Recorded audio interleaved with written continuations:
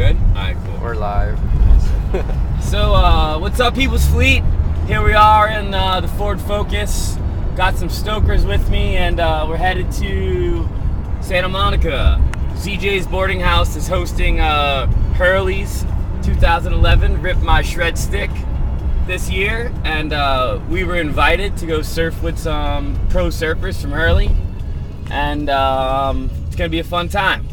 So, uh, got a couple stokers here with me, and uh, we're gonna share our goals for the day. So, uh, my goal is to get everyone there safely and home safely. Rito? Uh, my goal is have fun, catch as many waves as I can. Bridget? Um, since I'm a new surfer, my goal is to stand up on the board. and Ruben? Um, well, my goal is to um, fall as many times as I possibly can and do good.